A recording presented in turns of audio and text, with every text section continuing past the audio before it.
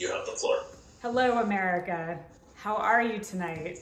Thank you so much for allowing me this incredible opportunity, and I'd like to give a special shout out to all my AKA sorority sisters. You have helped me so much in my life. I am here because of you.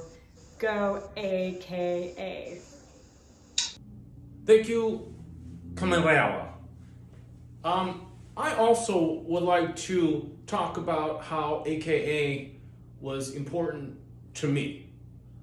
Um, a couple weeks ago, I went over to the AK sorority house.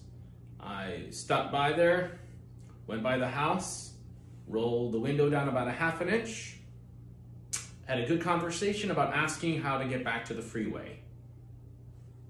Thank you. A huge concern, not just for America, but for the world. We are in a global climate crisis right now that if we don't take care of, future generations will have to clean up our mess. Um, it's not a question of raking the forest, as some people would like us to believe. It is actually a much deeper, deeper problem.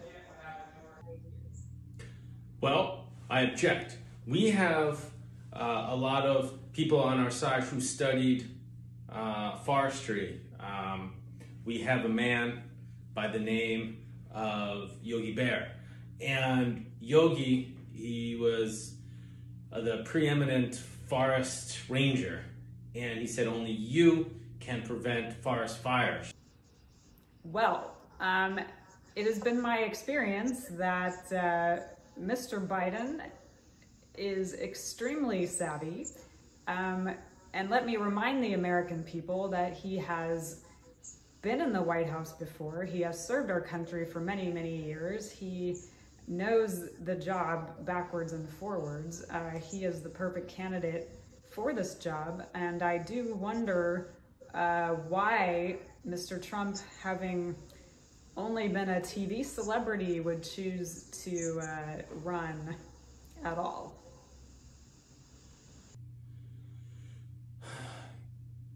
Kamala Olive. Now, let's talk about Donald Trump. When I see Donald Trump every night and give him his sponge bath, we talk a lot. And one of the things we talk about is his vast knowledge of so many topics about the Space Force. We talk all about um, The Apprentice and so many other topics. Now, I bet you Joe Biden is not versed in all those topics as the beloved Mr. Trump. Uh, may I ask you a question, Mr. Pence? Do you talk about climate change? Yes. We talk about temperature change. Um, Mr. Trump likes the warm, the room um, a little bit cooler. He sweats a lot um, when he sleeps. So um, climate change or temperature change, as we call it, uh, is a very important topic. There you have it, America.